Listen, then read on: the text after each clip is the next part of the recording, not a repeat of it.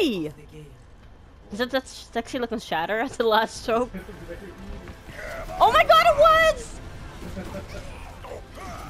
I got the two from pushing back.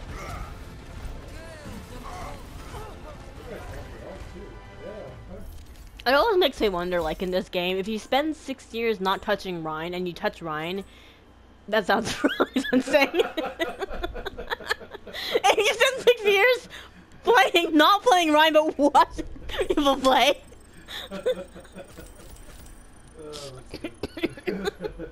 That's not what I meant. yes, Rein likes to be touched. Shut up. you mean like if you get lucky when when you finally touch him again? and when you